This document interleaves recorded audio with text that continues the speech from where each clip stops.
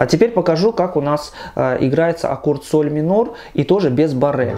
Значит, смотрите, э, для того, чтобы взять соль минор без барре, нам необходимо еще э, иметь в виду, помимо того, что мы строим соль, си бемоль, ре, знаем, какие ноточки необходимо взять, мы можем посчитать вот что. У нас шестая струна открытая, и мы когда играли, это ми, первый лад мы зажали фа, следовательно, у нас получился фа минор.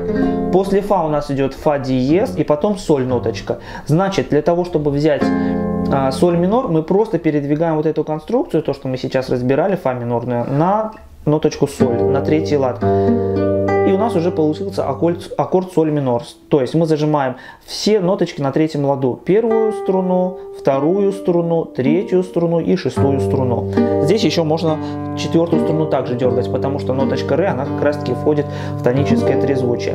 Ну а за лучшее, конечно, брать полноценный аккорд на первом ладу, на третьем ладу первым пальцем зажимаем все шесть струн и добавляем также два пальчика, как мы брали фа миноре в предыдущем аккорде. Вот это то, что касается аккорда соль минор. На этом с этим аккордом все.